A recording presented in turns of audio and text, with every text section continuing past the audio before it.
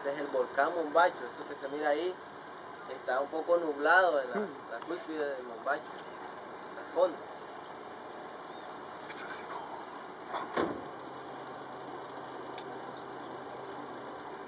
Ahí tienen la flor para